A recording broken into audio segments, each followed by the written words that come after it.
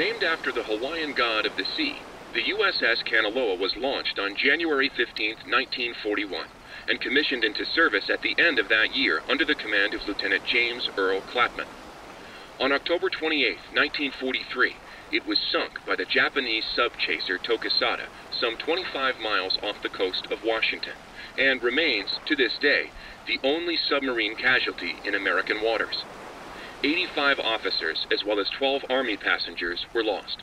The propeller was recovered in 1962 and in 1965 erected as a monument to the heroism of the brave men and women who tragically perished. This Data Command Annex, as it had been dubbed, was used during the base's early years as the communication nerve center for outside military installations.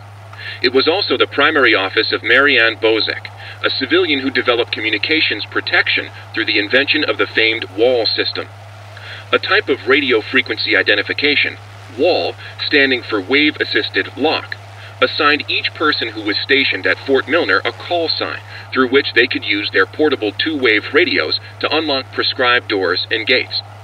Though the mechanics are considered outmoded today, the island still uses this security method to honor its rich history. From 1941 to 1972, this communications tower served many different telecommunication functions, including point-to-point -point from its receivers, microwave from its dish, Ka-band for satellite reception, and military airband for nearby aircraft. Unique in its construction, the tower houses its office in a segmented platform directly underneath its antenna and dish. Once unceremoniously called Site 82, in 1988, it was redesignated Hardin Tower for its longest tenured radio man, Major Richard Dick Hardin, who served as the tower's communications officer for eight years. When he was stationed at Fort Milner, Colonel Tim Russell would frequently wander the woods west of his barracks and sketch the wildlife he'd encounter on his walks.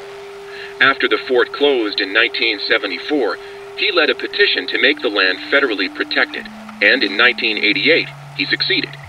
Now, Edwards Forest is an internationally recognized wildlife refuge and bird sanctuary, home to 120 bird species, most notably the white-tailed towhee, a large sparrow indigenous to only this island.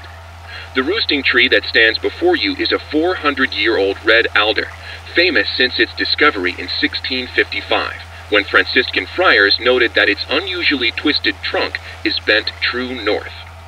The Catbird station was built to detect any enemy attempting a strike from the air.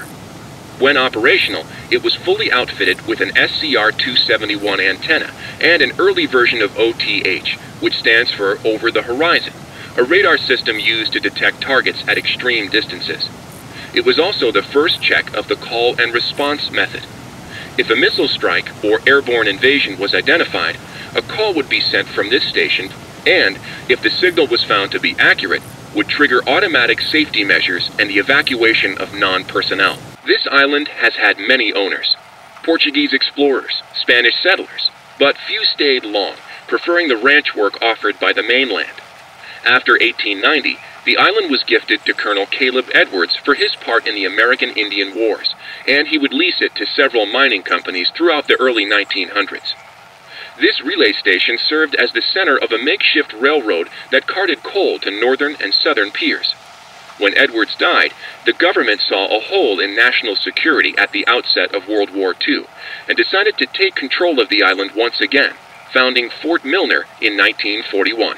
Fort Milner was the home of the U.S. Army Radio Communications School, which saw more than 100,000 students take its curriculum.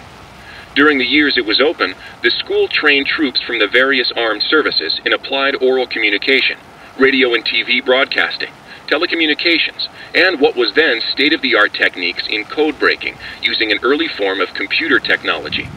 The school was moved to Fort Baxter in Southern California when the post closed in 1974, and it still resides there to this day. This is the Sentry, sculpted by Lieutenant Peter Hasborough, it was installed here in 1979 to remind all who view it of Fort Milner's original intent, to serve as a beacon of harbor defense.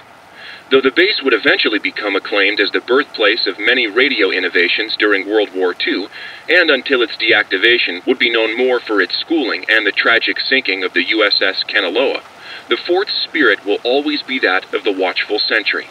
Steady, protective, and ever vigilant of enemies, both foreign and domestic. This early version of what would today be considered a blast and fallout shelter was commissioned and built in 1946. The above ground hub leads to a bunker 60 feet beneath the Earth's surface, molded with layers of poured concrete and packed earth. The lead blast door will only unlock through use of the call and response system, a setup devised by Lieutenant Commander Matthew Feinberg to prevent tampering. If the Catbird Station, a small watch point in Edwards Forest, radios in a decoded attack, the shelter door will automatically open, triggering an alarm and compulsory evacuation.